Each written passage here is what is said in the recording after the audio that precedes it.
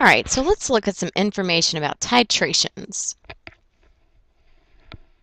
All right, titrations are going to be basically an application of acid-base neutralization reactions. Um, so you got acid plus base is going to make a salt plus water. Um, and you use an indicator.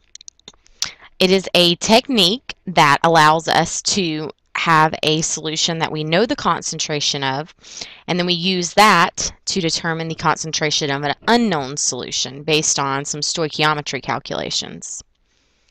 If you are trying to find the concentration of an acid, you would titrate that with a base that you know the concentration of. And if you were trying to titrate a base that you didn't know the concentration of, you would do that with an acid that you did know the concentration of. So you either have to know the concentration of the acid or the base, okay? And then you're trying to find the other one, whichever one you don't have. All right, some terms. Equivalence point is the spot on the titration curve where it is the exact stoichiometric amount um, needed for acid and base to completely neutralize each other. It's the steepest part of your curve. So here's a titration curve, and the steepest part, which is right here, is going to be your equivalence point, because so that's when you have the um, just right amount of acid and just right amount of base to cancel each other out and make a salt and water. The end point of a solution is going to be, or a titration, is when we actually see with our eyes the indicator change color in the lab. That may or may not be the same as the equivalence point, um, just depending on what indicator you chose. If you don't choose the correct indicator, your endpoint could throw you off some. The half equivalence point is exactly what you would think it means. It's the um, half of the volume of, like in this picture, it'd be where half the volume of base that is needed to reach the equivalence is located. So basically half the acid or half the base is titrated. So you have half and half at this point. So you have half protonated, half unprotonated. Um, that means that the pH equals the pKa. You don't know what all that means yet, but it'll be important eventually. And that is the flattest part of the curve, so right here. Uh, a buffer region is a region where the solution resists a change in pH. So you see here in this lower region that, you know, it's um, trying to stay flat, so it's resisting a pH change. And then when we say pKa, we're basically just saying take the Ka value for that acid and take the negative log of it, just like we would the H plus concentration to get pH. You can take the negative log of the Ka, and that'll give you pKa okay? And just makes the number easier to use because it makes it a number between 0 and 14. All right, so when you have a strong acid, strong base titration, you're going to have, you know, a slow change and then a very quick change and then again, uh, no change again. So this would be a HCl and an NaOH solution. You see that they are both strong. And that means that the pH at the equivalence point, where you have just the right amount of acid to neutralize just the right amount of base, would be pH of 7. All right, now that should make sense because they both dissociate completely, um, the strong acid and the strong base. And remember, when you have a strong acid, strong base, it makes a neutral salt.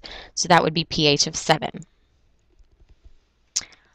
All right, um, the steep rise in the pH is where the acid um, is where the H plus ions from the acid have been completely neutralized by the OH minus ions of the base. So this is where the curve flexes, and that's where we say the equivalence point is. And remember, it's at a pH of 7. Okay, here's a molecular view. So we see that initially we have some H pluses, and then at equivalence point we have um, H pluses and OHs making water, and then here's our salt, our Na and our Cl dissolved. And then when you get beyond the equivalence point, you have an excess of base, so you have more OHs um, than H2Os. All right, now if you go the opposite way, if you take a strong base and titrate it with a strong acid, you'll get the exact same curve except it'll be reversed, it'll be flipped. So here you have starting with a strong base and then it uh, neutralizes, and then you have excess acid over here. pH at equivalence point is still going to be 7. All right, so basically, to do calculations for these, um, to calculate the volume of base that you would need to reach the equivalence point, you're just going to use M1V1 equal M2V2.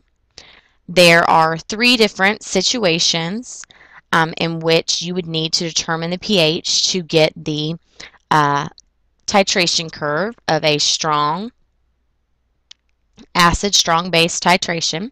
So initially, if you wanted the strong acid concentration, that would just be the negative log of the um, acid concentration because we know that the acid will completely dissociate into H plus ions. And then at equivalence point, we would want to know the pH, and this is always going to be 7 because it's a strong acid and a strong base. And then before the um, endpoint and after the endpoint, so there and there, you could calculate the pH by calculating the moles of excess H plus or excess OH minus ions, dividing by the total volume at that point, and then that'd be your concentration of H pluses, and then you could um, negative log that to get the pH. Okay, so those are the things we're going to need to do to get us a, a titration curve. Okay. All right, so let's look at this one and try to draw a titration curve. Okay. All right, so here we are asked how many milliliters of 0.1 molar NaOH is needed to titrate or neutralize 20 milliliters of 0.225 molar HCl. Okay, so basically we're looking at an M1V1 problem.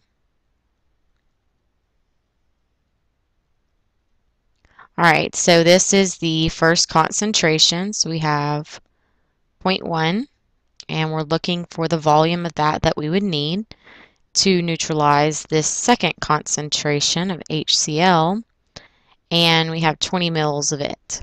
Okay, so when we work this out and solve for V1, I get 56.25 milliliters of NaOH would be needed. Okay, so that's the total volume to get to equivalence. All right, it didn't ask me this, but I'm going to sketch a little bitty titration curve, not super accurate, but just to get us thinking about it. Um, so I'm going to find the pH of the initial um, solution. Okay, so we have a 0.225 molar HCl solution. So that means we have 0.225 uh, molarity for H plus as well, negative log it, and our initial pH is 0.65. Alright, so now let's sketch just a very,